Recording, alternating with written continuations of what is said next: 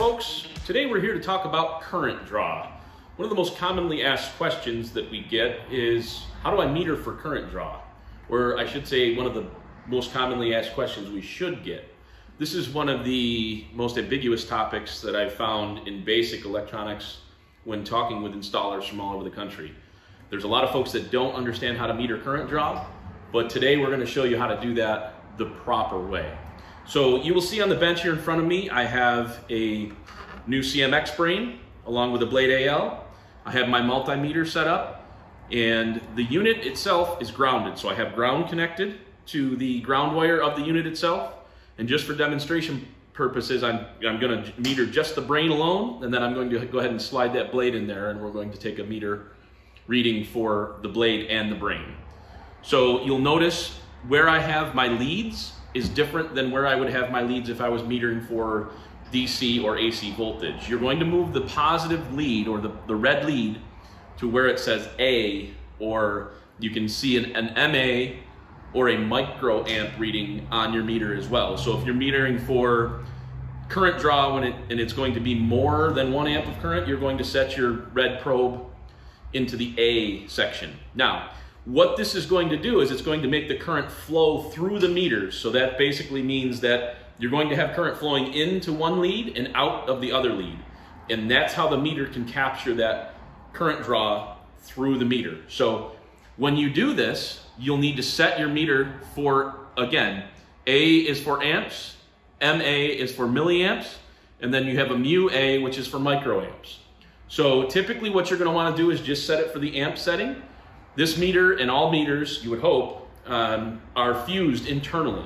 So this is protecting the circuit because if you draw too much power through the meter, through these leads, it could have the potential to melt those because you don't want to draw more than, typically they're limited to 10 amps of current draw. So when metering for current draw, one thing to make note of is that you don't want to meter the current draw for the entire vehicle.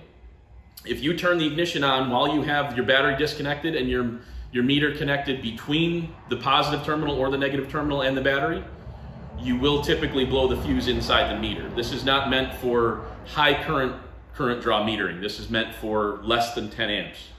So onward and upward, basically what we're going to do, we've got ground, grounding the, the brain.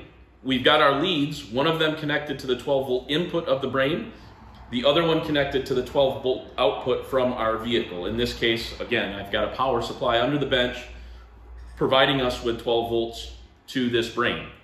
So you'll notice that it I've got the red connected to the red and the black connected to the input. So this is the output, the input. It doesn't matter. You can take these and reverse them. So if I were to take this and reverse, you're going to get the same reading.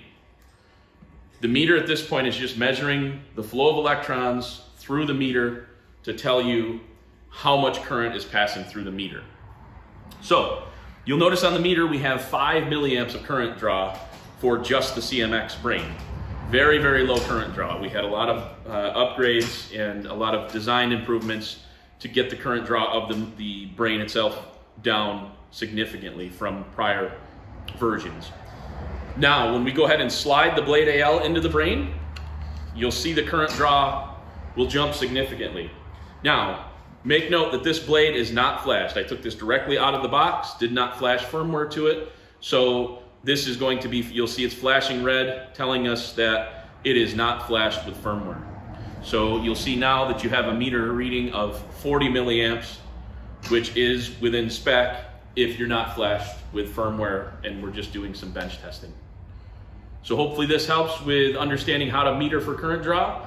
Just one other thing real quick. The other thing you can do is if this is in a vehicle situation, you can remove the fuses from the fuse holder. So for example, if you were to pull these fuses out of the fuse holders, and then you put one probe on one side of the fuse holder, the other probe on the other side of the fuse holder, now obviously the current coming from the vehicle is coming into one side of the fuse holder, and the current going to the brain is going out the other side of the fuse, or into the brain, out the other side of the fuse holder. So this will allow you to pass current through the meter very simply by removing the fuses and inserting your probes on either side of this fuse holder. It makes a quick and easy way to meter current draw in the vehicle without disconnecting any wires.